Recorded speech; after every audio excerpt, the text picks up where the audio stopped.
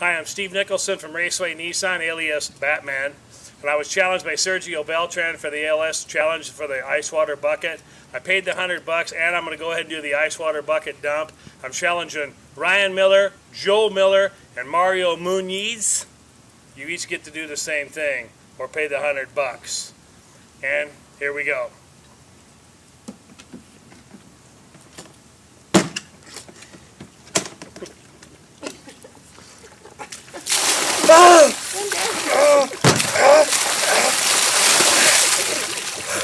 And here in California, because we're in a drought, this is recycled pool water, but it is ice cold with ice. There you go, and there you have it. And why are you fishing for a deal when you can catch one at the lake?